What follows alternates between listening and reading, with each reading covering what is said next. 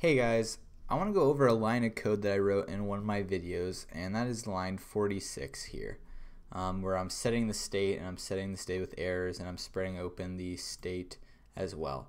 Now this is a line that uh, someone in the comments asked about whether it was the correct way to do it and I thought it'd be good in case anyone else was writing their code like this why this is not the most optimal. I usually don't write stuff like this but in this moment for whatever reason I wrote it like this.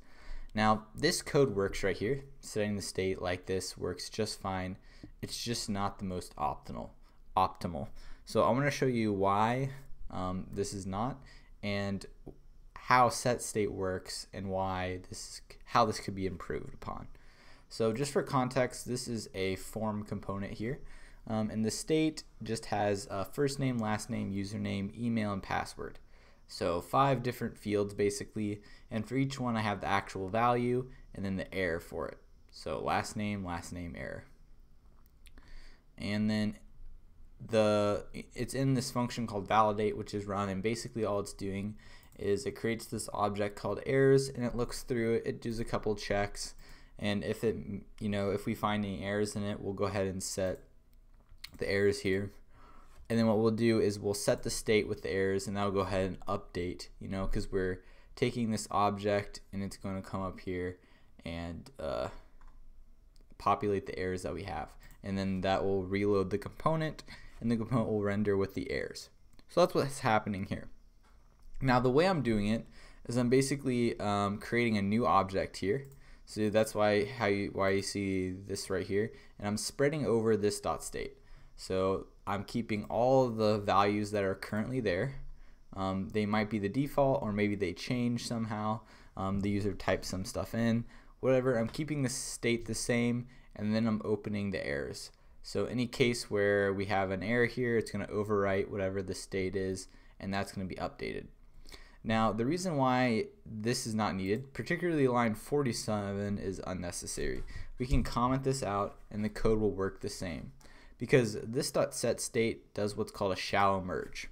And now how a shallow merge works is if you look at your object, so let's say our state has just the component a is equal to 1.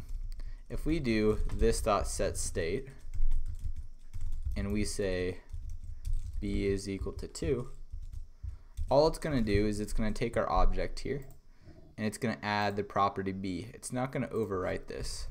So what it will turn into is A1, B2. So that is what's called a shallow merge. So it's taking both objects, this guy here, and the original state and what we want to update the state with and kind of just squishing the two objects together.